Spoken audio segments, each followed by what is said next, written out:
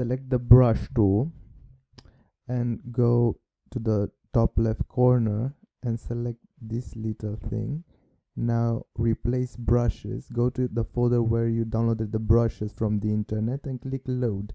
You will see them right there and you can select them and draw with them. And that's that's it.